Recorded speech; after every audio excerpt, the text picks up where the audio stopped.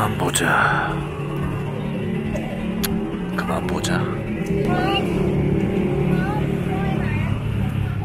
내가 지금 향하는 곳은 하노이의 2대 클럽이라 불리는 히어로.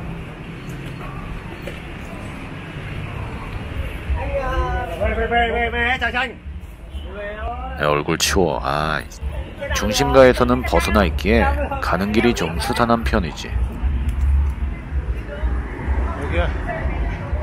시간이 10시 반 정도밖에 안 되어서 아직은 사람이 많지 않은데 이미 빠순이들이 밖에서 피크타임을 기다리는 듯해.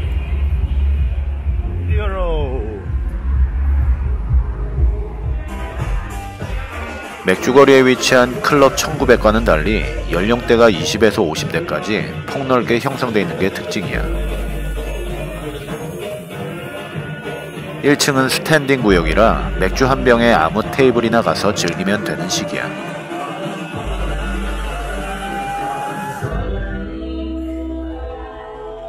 클럽에서 울려 퍼지는 음원의 저작권을 침해하지 않고자 약 70% 느리게 한 것 감안하고 시청하길 바래. 오렌지색 상의가 웨이터들이고 검정색 셔츠가 매니저들인데 특히 빡빡머리 매니저가 상냥하더라고.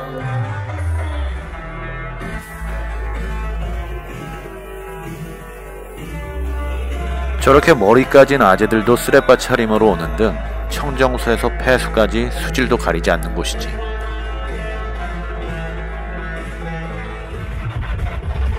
(1층은) 대충 훑어봤으니 (2층으로) 한번 올라가 보자고 2층 테이블 쪽은 예약하지 않은 사람은 입장할 수 없기 때문에 중간층 계단에서 노는 걸 감상할 수 있어.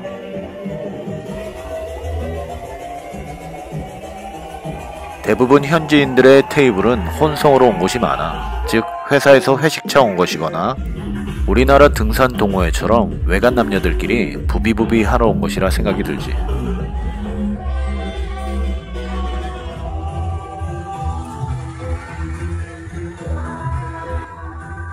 이곳 베트남의 나이트클럽도 가만히 살펴보면 어떻게든 꼬셔보려는 수컷이랑 그렇게 달려드는 여러 수컷 중에 괜찮은 상대를 고르는 암컷이 부리는 교태 등 한국과 별반 차이가 없다는 걸 실감할 수 있지.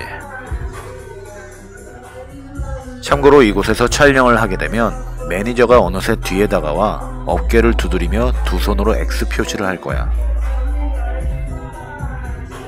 하지만 나는 대머리 매니저에게 돈 좀 찔러 주었기에 촬영을 특별히 허락해 주었던 것이야.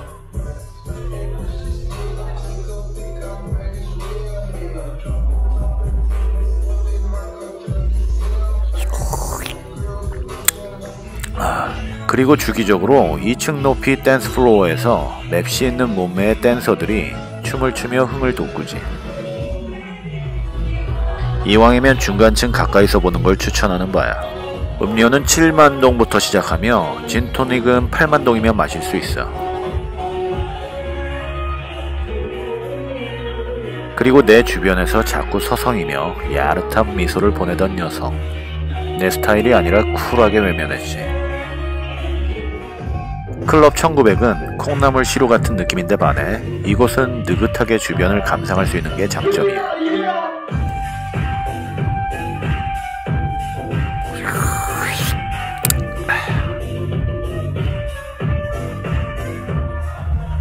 스테이지 앞 테이블에 자리를 잡고 주변을 훑어보다가 나와 눈이 마주친 정장 차림의 여성. 진토닉 한 잔 더 사갖고 왔더니 나와 가까운 쪽으로 테이블을 옮겼더라고.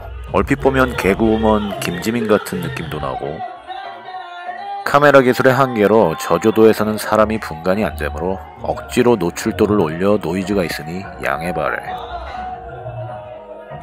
스테이지를 중심으로 옆에는 룸이 있는데 이날은 조폭 냄새가 물씬 풍기는 사내랑 비싼 옷이랑 가방으로 치장한 여성들이 자리를 차지하고 있었지.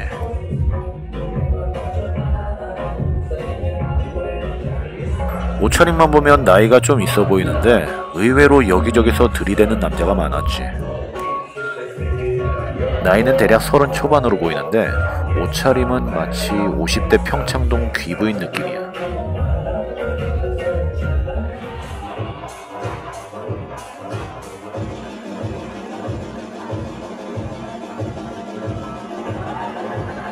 이젠 대놓고 내 쪽으로 자리를 옮겨 앉은 그녀. 아직 부비부비까지는 못하겠는지 거의 내 옆까지 왔다가 친구랑 귓속말로 속삭이더니 수줍은 표정으로 깔깔대면서 다시 저만치 떨어지는 그녀. 결정적으로 그녀가 나한테 꽂혔다는 걸 직감한 이유는 화면으로는 잡질 못했지만 담배를 태우려고 라이터를 찾는데 어두워서 한 10초 정도 헤매었을 거야. 그런데 귀부인 같은 그녀가 자리에 앉아 핸드폰 후레쉬로 손에 라이터를 비추더니 나한테 손짓하더라고. 아주 인자한 얼굴로. 까뭉 하며 얼굴을 가까이서 보니 나이는 많아 보이지는 않은데 좀 억울한 표정의 얼굴형이었지. 아마 그래서 좀 더 들어 보이는 것 같아. 나한테 더 갈까 말까 망설이는 그녀의 춤사위. 나름 풋풋함이 느껴졌지. 댄스 음악보다는 캐바레의 흥겨운 트로트가 어울리는 그녀.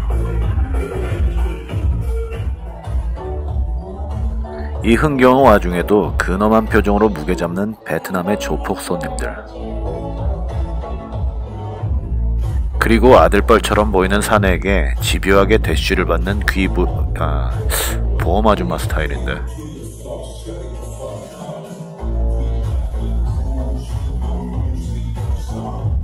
그래도 리듬에 맞춰 뻣뻣한 몸을 흔들어 제끼는 그녀. 눈치 없이 계속 그녀 주변에 얼쩡대는 범생이 스타일의 사내. 결국에 사고가 발생하는데 물담배 후가의 호스가 떨어지면서 그녀의 치마와 다리가 다 젖고 만 것이지.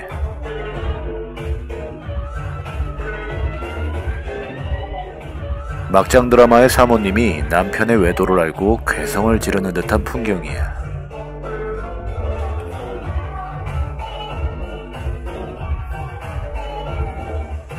주변에 웨이터들도 몰려들고 어수선한 분위기가 이어졌지.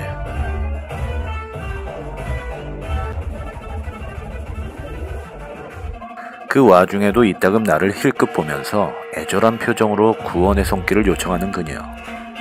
결국 내키지는 않지만 머리에 하고 있던 두건을 빼서 그녀에게 건네주는 기사도 미노스.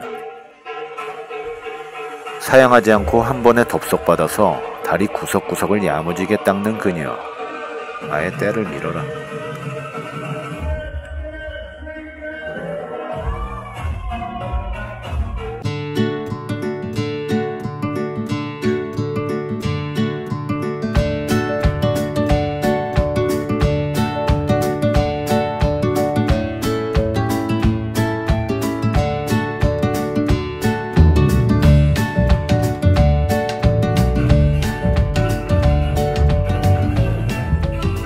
가만 놔두면 발가락 구석구석 닦을 것 같아서 냉큼 달라고 했지. 아까 라이터도 빌려준 그녀였기에 아무런 사심 없이 신세를 갚는다는 의미 그 이상도 아니었어. 그런데 무슨 볼 일이 또 남았는지 나에게 조심스럽게 다가오는 그녀.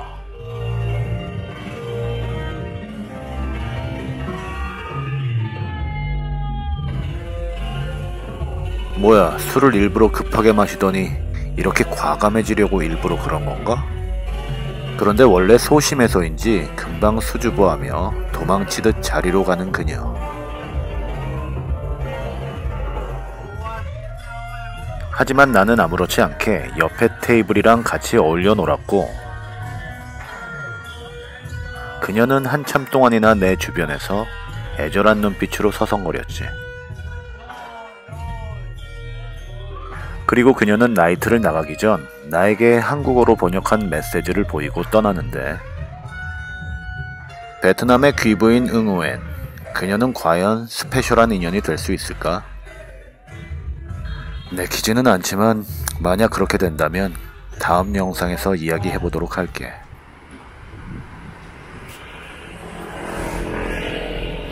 아니다. 다음 영상 만들고 싶지 않다.